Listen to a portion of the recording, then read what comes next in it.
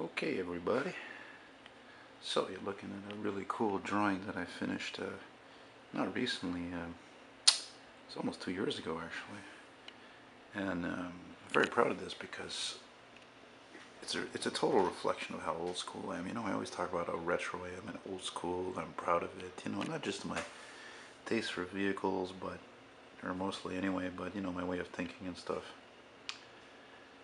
But you know, I didn't, I didn't, um, I didn't live in this amazing bygone age, so you know, I gotta go actually to a railway museum in, in Delson, south of Montreal, to go ride in one of these old streetcars.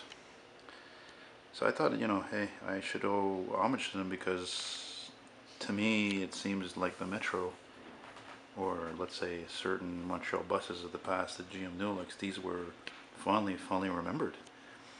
And I did this uh, drawing, um, let's get a little bit closer here. I took a lot of time to do this. And by the way, if you don't know me, I draw freehand. Eh? No tracing. And you can tell I didn't trace because the roof of the streetcar has a curve uh, and a little maybe, well no, that's supposed to have a curve like that in the front. But, uh, yeah, she don't focus too good when you get close like that. Anyway, uh,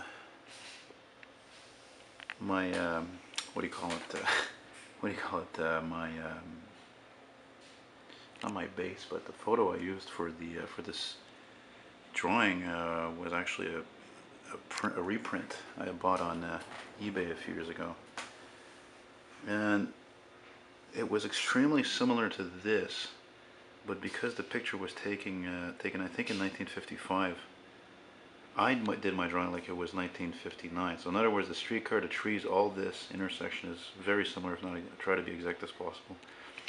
But that 59 Buick here, I wanted this to symbolize the last year of streetcar service in Montreal. And I even went so further to do a Canadian 57 Meteor taxi here.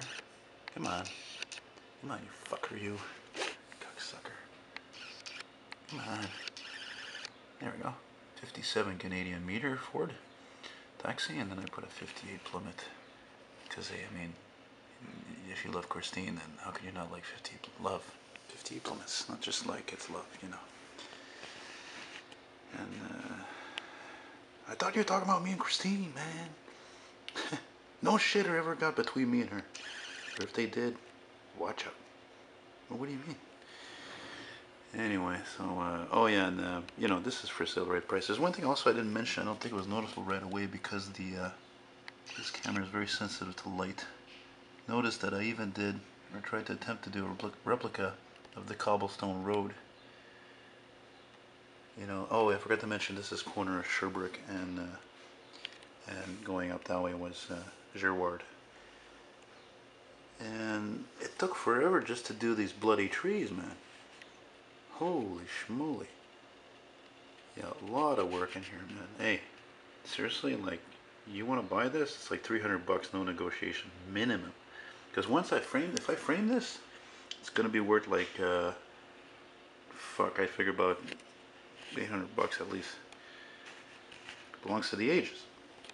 You want to see don't fuck around, man? I mean, I don't, do, I don't do, uh, I don't do paintings, uh, I'm sorry, I don't do drawings. It's been a while since I did drawings because I've done so many of them. I figured it's time to go back to paint. Show you a quick preview of what I'm almost done here.